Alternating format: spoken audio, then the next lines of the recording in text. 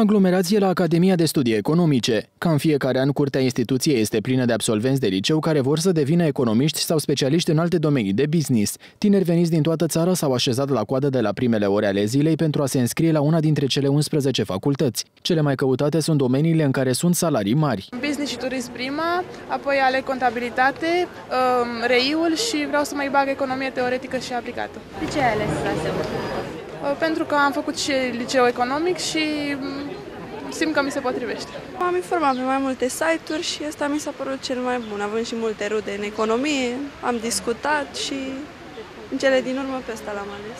Anul trecut la ASE s-au înscris în primele două zile peste 2000 de candidați. Tinerii trebuie să fie pregătiți pentru examene, dar și pentru viața deloc ieftină din capitală. Ca să se întrețină aici, tinerii au nevoie de cel puțin 1000 de lei pe lună. La un apartament privat cu colegii mei. Cine te Eu și cu mama.